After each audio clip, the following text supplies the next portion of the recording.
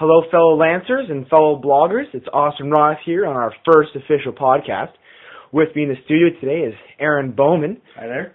The top 60 meter sprinter in the country right now, and the only sprinter with the CIS auto qualifying time of 6:79. Aaron, how was that race for you? Absolutely fantastic. It's been a very, very long time since I've run that specific time, and that actually ties my PB. So it was a fantastic race overall. For all the listeners out there, uh, a PB is a personal best. Now, Aaron, it's your third year as a Windsor Lancer. Um, tell us a little about your journey from coming in as a recruit and now in your third year on the team. Well, when I got here, I was a fresh 17 year old. Um, I was really nervous to join the team because I got word from uh, one of the, the veterans who messaged me prior to coming here that um, they're a tough group of people and, and their training's not easy, especially the base training. You know, the first four months were a real learning experience because I came in here not really sure what to expect, and the first week was just eh, actually the first week wasn't too bad, but it slowly escalated harder and harder, and eventually I was gasping for air, my lungs were hurting, and I'm wondering why do I do this sport? You know, it's it's real tough, but it got much easier. Uh, competition started, and from then on, it was history. You know, it was it was a good experience joining the team and learning how the university system works.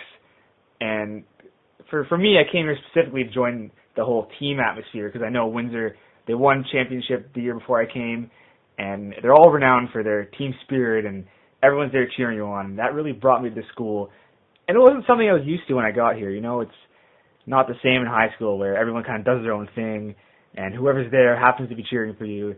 It's a really big deal in university that everyone's following you from uh, your first race to your last race, right up until nationals. Now, in high school, uh, you were one of the top sprinters in the country at the time, and uh, had some setbacks with injuries. Um, you know, most athletes do suffer from injuries uh, here and there, and um, how have you overcome uh, those challenges and hurdles um, of being injured in, in, in a sport that uh, you only have a few seconds to show what you're doing? patience. The the biggest thing for me is patience because with so many setbacks, it's really difficult to keep your head in the game and stay on track because they just keep pushing you back and knocking you down, and it's not so much so much how how hard it hurts you, but as long as you keep pushing through it because some people will take this injury and like think it's the end of the world and they'll stop their season, stop doing everything and just kind of let it take over their life. But I decided no, I'm I know I'm better than this. It's just a setback. Some, I did something wrong, but I want to fix it. I want to come back strong. And every time I get injured, it sucks, but you got to live with it. You got to move past it and, and just work through it. And I had to do that a lot throughout my high school years. And my first year, especially, I had another injury that came at a really bad time. But you just got to look past it and push through it because it's not the end of the world. It will pass. Now, I see you're sitting here in the studio with me, and you've looked at your ring as you're going through your stories, and a big smile comes in your face when you mention that CIS ring, the what we as Lancers strive for. And um, what are your predictions for the future? And um, how did it feel to first uh, win your first championship ring um, with the team? Uh, winning my first championship ring, what makes it so important is actually the year before because prior to me arriving, the men and women's team both won nationals, and hearing that, I was so excited to be part of this team because I know they were looking strong to win again, and I hope that I could be part of that and contribute to it.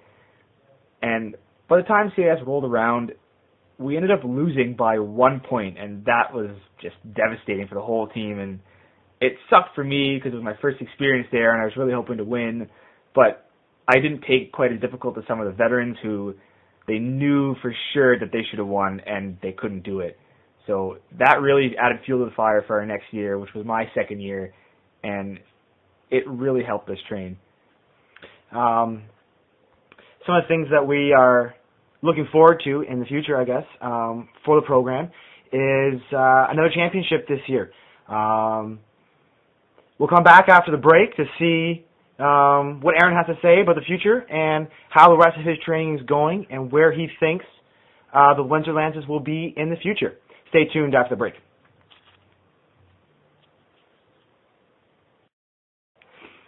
And we're back from the break. Uh, here me in the studio again is Aaron Bowman, the uh, top 60 sprinter in the country and on the Windsor Lancers.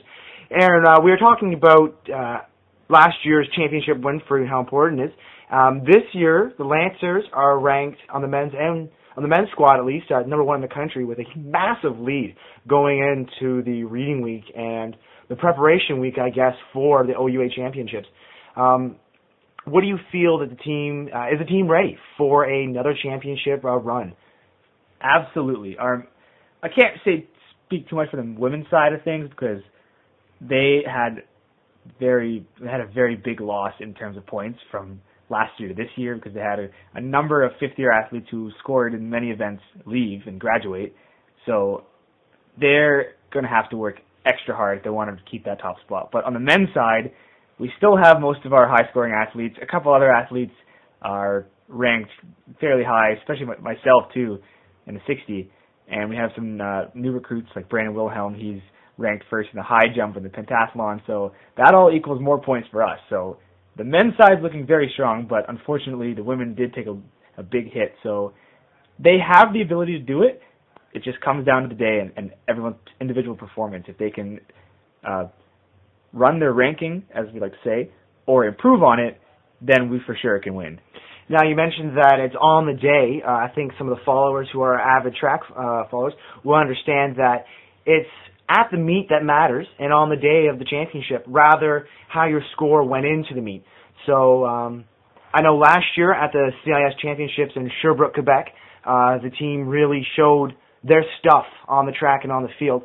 Um, this year, the championships are in Winnipeg, Manitoba. Mm-hmm. Um, now, you've raced at that track. Yes, I have. How do you feel that facility and that track will add to the uh, excitement of going to the championship? Oh well, I got to tell you, running that track was was quite an experience because everyone was expecting this this fantastic uh, state of the art track, and the facility is is uh, top of the line. But it's really just a your average track. It's just the the way the track's designed itself. The banks are really wide, so it's a it's fast. It doesn't look like much, but it it is fast, and we've had a lot of good performances there. That one weekend we went down there. Um, for nationals, I expect it to be full of action because the actual seating for the, the uh, for the fans is only about maybe three feet away from the track itself, as opposed to Sherbrooke, where uh, seating was above the track and it was a level up, so you weren't really close to the action. Whereas this, you're you reach out, you can touch one of the runners. So it's definitely going to be a, a exciting experience for all the first timers there. Now, you mentioned that the Lancer spirit uh, is a part of our arsenal that's extremely important. And, um, do you feel that the spirit of the squad uh, and the facility setup will maybe give us an extra point and shave off that second? Absolutely. You know, at CIS last year, it was difficult for that spirit to uh, to flow onto the track since we were separated, and they only really let us down for the finals to get onto the track and scream at our athletes. But this year, they have no choice. Like even if we're on the bleachers, we're still standing right beside the track. So I can definitely see our Lancer corner, as we like to call it, uh, filling that backstretch so we can give our Lancers the support they need. Now, um, you're coaching, uh, switching topics here a little bit. Um, the sprint coach uh, here at the University of Windsor, uh, Doopy, as uh, we all like to call him, um, how has he been important into your training as well as coaches back home? Um, coaches back home my my coach specifically has run my program for since I started the sport. And, you know, it was it was a little difficult for him to let go when I got here. Uh, he does still oversee my weights program because that's really his uh, his forte. And Doopy himself, he's been like a mentor on the track. You know, he he does know what he's talking about. It was hard to adjust to him the first time we got here, but just training with him for these past three years, we can see the improvements. He knows what he's doing it's just a matter of having to trust what he his what he says and trust his judgment. Because with ours workout specifically, it's very very fine. Like you have to adjust every little bit, and we we don't really see him do this, but we know that he toils uh, day and night over what to do next, and he he keeps all, track of everything we do, and it it pays off. Now we only have a few more seconds left in the show uh, before we go to the commercial break. But Aaron, quickly, uh, predictions. CI final. How do you feel? How do you see the team doing? First place. All right. Thank you very much, Aaron. I really appreciate you coming into the studio and talking to us. Uh, stay tuned next week for a video uh, with Brandon Wilhelm and other Lancers.